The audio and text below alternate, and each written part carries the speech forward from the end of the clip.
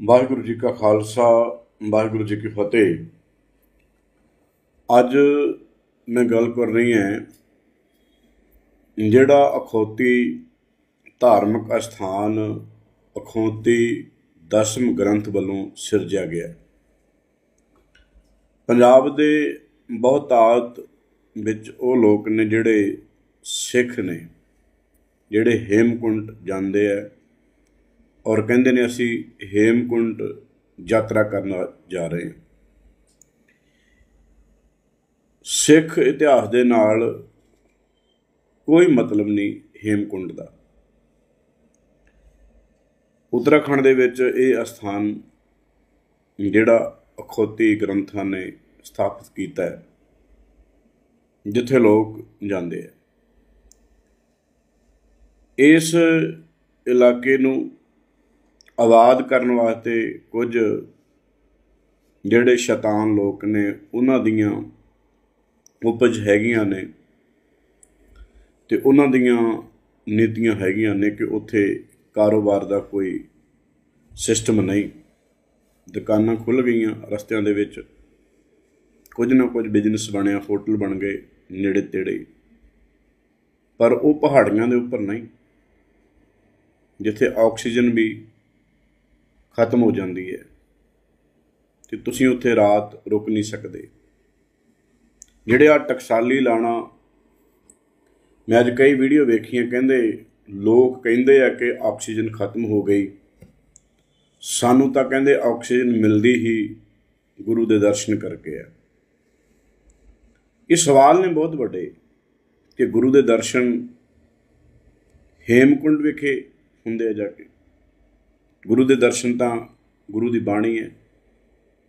ਬਾਣੀ ਨੂੰ ਪੜ੍ਹਨਾ, ਸੁਣਨਾ, ਵਿਚਾਰਨਾ ਗੁਰੂ ਦੇ ਦਰਸ਼ਨ ਨੇ।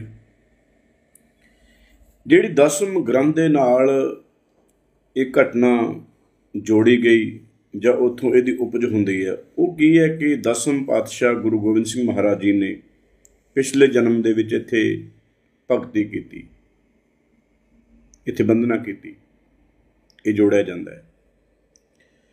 ਮੈਂ ਬੇਨਤੀ ਕਰ ਦਿੰਦਾ ਗੁਰੂ ਕਲਗੀਧਰ ਸੱਚੇ ਪਾਤਸ਼ਾਹ ਨੇ ਪਹਿਲੇ ਜਨਮ ਵਿੱਚ ਜਾਂ ਦੂਜੇ ਜਨਮ ਵਿੱਚ ਕਿਤੇ ਭਗਤੀ ਨਹੀਂ ਕੀਤੀ। ਚਲੋ, ਮੰਨ ਲੈਂਦੇ ਆ ਕਿ ਭਗਤੀ ਕੀਤੀ ਹੈ। ਤੇ ਜਿਹੜਾ ਹੇਮਕੁੰਟ ਹੈ, ਉਹ ਕਿਹੜੀ ਦੁਨੀਆ ਵਿੱਚ ਹੈ? ਉਹ ਇਸੇ ਭਾਰਤ ਵਿੱਚ ਹੈ, ਜਾਂ ਕਿਸੇ ਹੋਰ ਦੇਸ਼ ਵਿੱਚ ਹੈ, ਜਾਂ ਕਿਸੇ ਹੋਰ ਦੁਨੀਆ ਵਿੱਚ ਹੈ? ਉਹ ਤੇ ਸਭ ਕੁਝ ਦਿਸ ਰਿਹਾ। ਅੱਖਾਂ ਦੇ ਸਾਹਮਣੇ ਹੈ। ਇਹ ਸਭ ਤੋਂ ਵੱਡਾ ਝੂਠ ਸੀ ਅਖੌਤੀ ਦਸਮ ਗ੍ਰੰਥ ਦਾ ਕਿ ਹੇਮਕੁੰਟ, ਜਿਹਨੂੰ ਸਾਹਿਬ ਕਿਹਾ ਜਾਂਦਾ ਹੈ ਕਿ ਉੱਥੇ ਗੁਰੂ ਕਲਗੀਧਰ ਸੱਚੇ ਪਾਤਸ਼ਾਹ ਨੇ ਭਗਤੀ ਕੀਤੀ। ਇਹਦੇ ਨਾਲ ਇੱਕ ਹੋਰ ਘਟਨਾ ਵੀ ਜੋੜੀ ਜਾਂਦੀ ਹੈ ਕਿ ਜਦੋਂ ਗੁਰੂ ਤੇਗ ਬਹਾਦਰ ਸੱਚੇ ਪਾਤਸ਼ਾਹ ਭੋਰੇ ਦੇ ਵਿੱਚ ਬੈਠੇ, ਭਗਤੀ ਕਰਦੇ ਨੇ, ਕਿ ਉਦੋਂ ਵੀ ਭਗਤੀ ਦੇ ਵਿੱਚ ਇਹ ਮੰਗ ਸੀ ਕਿ ਕੋਈ ਐਸਾ ਯੋਧਾ ਪੈਦਾ ਹੋਵੇ ਤੇ ਕਹਿੰਦੇ ਉਹ ਯੋਧਾ ਹੇਮਕੁੰਡ ਵਿਖੇ ਗੁਰੂ ਗੋਬਿੰਦ ਸਿੰਘ ਨੂੰ ਕਹਿੰਦੇ ਨੇ ਭਗਤੀ ਕਰ ਰਿਹਾ ਸੀ, ਇਹ ਨਾਲ ਤਾਰਾਂ ਜੋੜੀਆਂ ਗਈਆਂ। ਕਿਉਂਕਿ ਜਿਹੜਾ ਪਖੰਡ ਹੈ ਨਾ, ਇਹਨੂੰ ਕਿੰਨੀ ਬਰੀਕੀ ਦੇ ਨਾਲ ਘੜਿਆ ਜਾਂਦਾ ਹੈ ਤੇ ਲੋਕਾਂ ਦੇ ਉੱਪਰ ਪਖੰਡ ਦਾ ਗਲਬਾ ਪਾਇਆ ਜਾਂਦਾ ਹੈ। ਆਮ ਸਮਝ ਵਾਲੇ ਲੋਕ ਸਮਝ ਨਹੀਂ ਸਕਦੇ। ਮੈਂ ਇੱਕ ਬੇਨਤੀ ਕਰਨੀ ਹੈ ਜਿਹੜੇ ਵੀ ਹੇਮਕੁੰਡ ਜਾਂਦੇ ਨੇ, ਆਪਾਂ ਨਹੀਂ ਸਾਹਿਬ ਕਹਿੰਦੇ। ਸਾਹਿਬ ਸ਼ਬਦ ਜਦੋਂ ਪਾਵਨ ਬਾਣੀ ਵਿੱਚ ਆਉਂਦਾ ਹੈ, ਗੁਰੂ ਸਾਹਿਬ ਲਈ ਆਉਂਦਾ ਹੈ ਤੇ ਜਾਂ ਪਰਮਾਤਮਾ ਲਈ ਆਉਂਦਾ ਹੈ।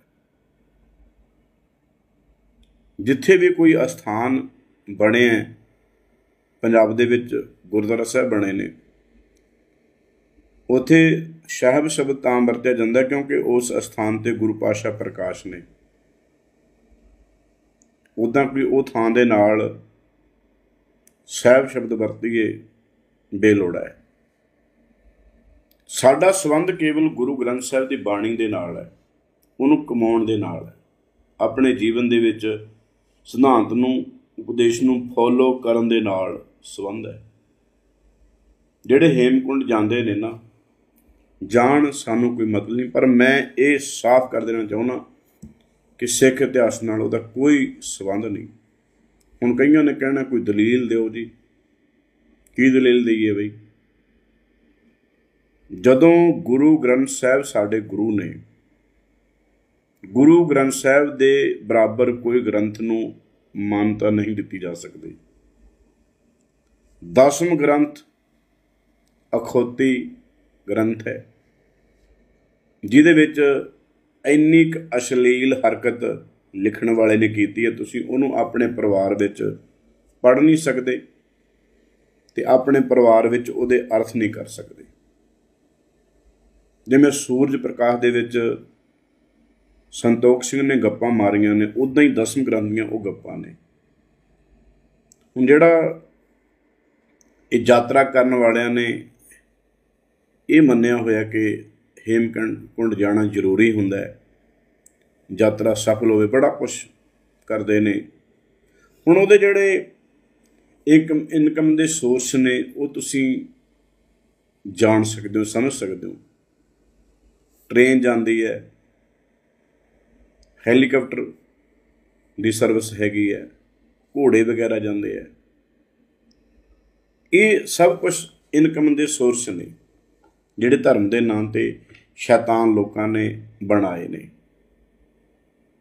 ਜਦੋਂ ਮੇਰੀ ਇਹ ਗੱਲਬਾਤ ਤੁਸੀਂ ਸੁਣੋਗੇ, ਇਹਨੂੰ ਸਮਝੋਗੇ, ਬਹੁਤੇ ਲੋਕ ਉਹ ਨੇ ਜਿਹੜੇ ਸਮਝਣ ਤੋਂ ਕੰਮ ਨਹੀਂ ਲੈਂਦੇ, ਸਮਝਣ ਦੀ ਬਜਾਏ ਗਾਲਾਂ ਕੱਢਦੇ ਆ।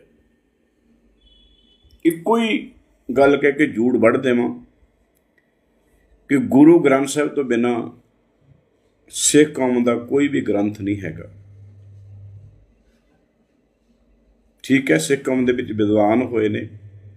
ਉਹਨਾਂ ਨੇ ਕੁਝ ਇਤਿਹਾਸ ਲਿਖਿਆ ਕਪਤਾਵਾਂ ਲਿਖੀਆਂ 12 ਲਿਖੀਆਂ, ਜਿਵੇਂ ਭਾਈ ਗੁਰਦਾਸ ਜੀ ਹੋਏ ਨੇ ਨੰਦ ਲਾਲ ਜੀ ਹੋਏ ਨੇ, ਗਜ਼ਲਾਂ ਨੇ ਉਹਨਾਂ ਦੀਆਂ। ਪਰ ਜਿਹੜੇ ਇਹ ਗ੍ਰੰਥ, ਜਿਵੇਂ ਦਸਮ ਗ੍ਰੰਥ ਦੀ ਤੁਸੀਂ ਗੱਲ ਕਰੋਗੇ, ਇਹਦੇ ਵਿੱਚ ਸਭ ਤੋਂ ਕੂੜ ਕਵਾੜ ਹੈ। ਪ੍ਰੋਬਲਮ ਇਹ ਆ ਰਹੀ ਹੈ, ਜਿਹੜੇ ਸਾਡੇ ਸਿੱਖ ਵਿਦਵਾਨ ਨੇ, ਉਹ ਗੱਲ ਕਲੀਅਰ ਨਹੀਂ ਕਰਦੇ।